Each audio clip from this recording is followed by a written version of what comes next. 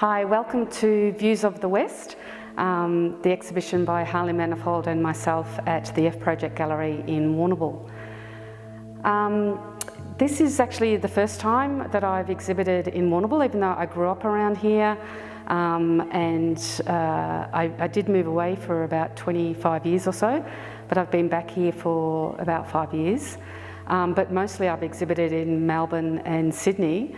However, all my work has been about the Western District um, for at least the last 20 years. So I've been painting and drawing um, southwest Victoria, mostly the farming landscapes, the cypress trees, paddocks, um, mostly concerned with uh, light and atmosphere and the sense of space.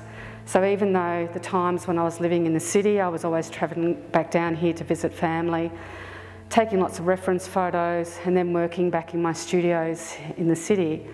Um, now, of course, it's, it's at my doorstep, so um, it's wonderful to be able to experiencing that feeling I am back home uh, in the landscape that I know so well.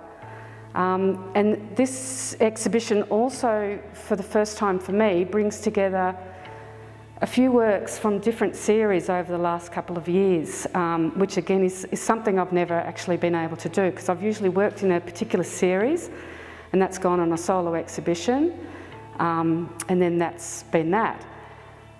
In this uh, show, I've got um, some works, just one or two works from the last couple of years. I've got the 12 Apostles charcoal drawing, which is a really large um, charcoal, took many, many weeks to do.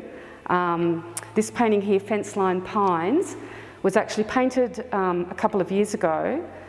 Uh, however, I've just recently reworked it in the last few weeks and just added more depth and layers and changed the light a bit. It's something that I, I, I, ne I never usually rework a painting, um, but in this instance I was happy to do that. Um, and The Quiet Winter was from last year, so that's in this series. And then the, um, the hedge here, um, Journeys Past, is actually a recent work from this year. And there's a, a brand new large charcoal drawing called End of the Road, which um, was just completed maybe last week and just framed this week.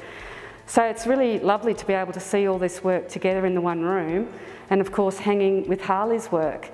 And um, like Harley's mentioned, it's interesting and, you know, lovely to see that the works just sing together, they just flow into each other.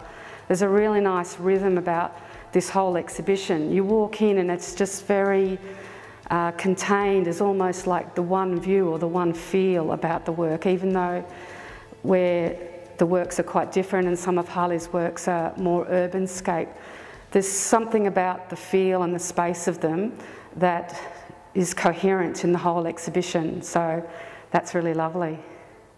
So the exhibition has just opened this week and it goes until September the 13th.